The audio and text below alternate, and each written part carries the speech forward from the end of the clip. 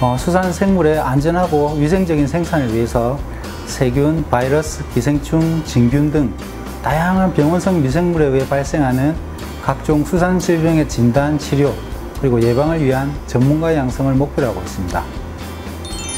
수산질병 관리사 면허를 취득한 인재들은 수산생물에 대한 병원 일을 할 수 있는 수산질병관리원을 개원할 수가 있습니다. 그리고 국립수산과학원, 국립수산물품질관리원, 지방해양수산청 수해양 관련 연구소, 그리고 아쿠아리움, 어, 제약회사, 사료회사, 양식 현장 등 다양한 분야로 진출할 수 있습니다. 그리고 좀 더 깊이 있는 공부와 연구를 하고 싶다면 대학원에 진학할 수도 있습니다. 수산생명과학개론, 일반생물학 등의 교과 과목을 통해 기초를 다지고 실습을 통해 다양한 경험을 쌓은 후 바이러스학, 어병세균학 등 병원성 미생물에 의해 발생하는 수산질병에 대해 공부합니다.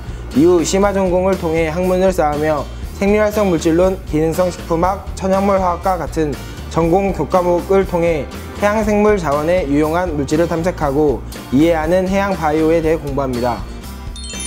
바다에 존재하는 다양한 해양생물에 관해서 전반적으로 배울 수 있고 또 과학의 여러 분야에 대하여 동시에 배울 수 있습니다.